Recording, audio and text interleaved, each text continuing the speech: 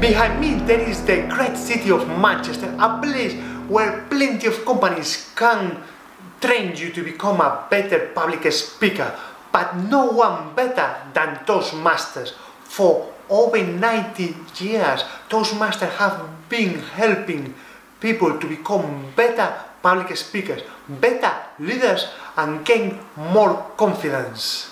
And the good news is that now Manchester is opening a new Toastmaster club, Manchester Communicators.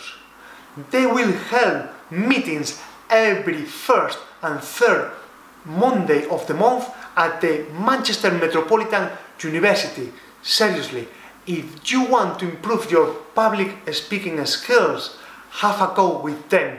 You won't regret it.